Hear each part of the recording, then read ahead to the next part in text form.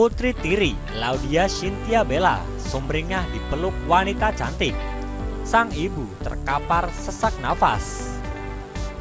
Di saat foto ceria sang putri dipamerkan Emran, Era, sang ibu kandung, justru sedang berjuang demi kesembuhannya. Setegar Laudia Cynthia Bella, Era ternyata ambruk dan harus dilarikan ke rumah sakit. Era Fazira dikenal sebagai sosok yang energik. Meski tengah situasi pandemi corona, Era justru tetap aktif menjalani syuting dan tampil di sejumlah acara. Era juga cukup aktif di media sosial.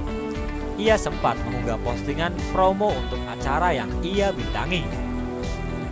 Minggu ini, hashtag Era Fajira, hashtag Hafiz Swift, dan hashtag Adira untuk kasih happening lagi suara viral minggu ke-6. So, jangan ketinggalan guys, kita udah semakin hampir dengan persaingan untuk menjadi juara. Namun baru-baru ini, tertua kabar kalau Era sedang sakit demam. Bukan cuma bed rest, Era bahkan dilarikan ke rumah sakit.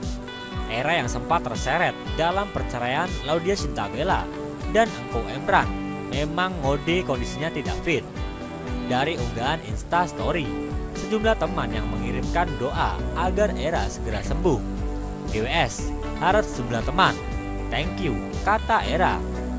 Media Metro Malaysia mengungkap kabar kalau Era ternyata dilarikan ke rumah sakit. Ia mengalami demam tinggi, bahkan sempat sesak nafas. Era rupanya sakit sekitar empat hari lalu.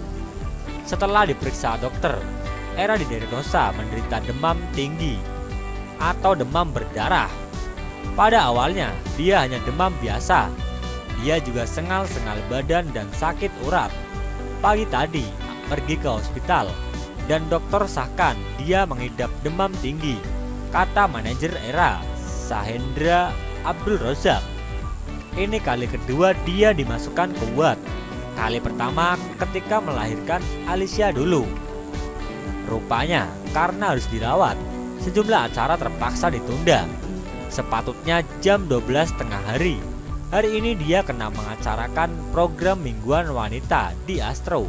Tapi saya sudah maklumkan keadaan era lebih awal.